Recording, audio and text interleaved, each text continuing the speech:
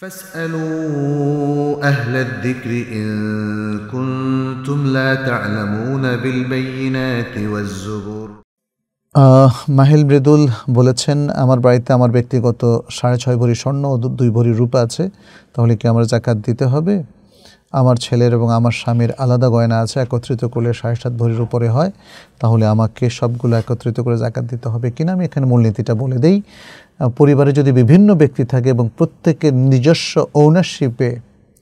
যদি নেশাবের চাইতে কম পরিমাণ স্বর্ণরূপা বা টাকা থাকে, তাহলে সবগুলোকে একত্রিত করে নেশাব পরিমাণ করে জাকাত দেওয়ার এই পদ্ধতিটা সঠিক নয়। প্রত্যেক ব্যক্তির যদি স্বর্ণ রূপা এবং অর্থ,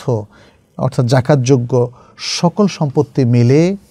জাকাতযোগ্য সকল সম্পত্তি মিলে নেশাব পরিমাণ পৌঁছে, তখন জাকাত দিতে হবে। যেমন কারও স্বর্ণ আছে, রূপা আছে, টাকা আছে সব কিছু মিলে তার নেশাব হয়ে গেছে, তাহলে জাকাত দিতে হবে। আর সব কিছু মিলে যদি নেশাবের কম থাকে, তাহলে জাকাত দিতে হবে না। যদিও তার স্ত্রীর স্বর্ণ আছে, তার সন্তানের স্বর্ণ আছে, সেগুলোকে একসাথে অ্যাড করা যাবে না,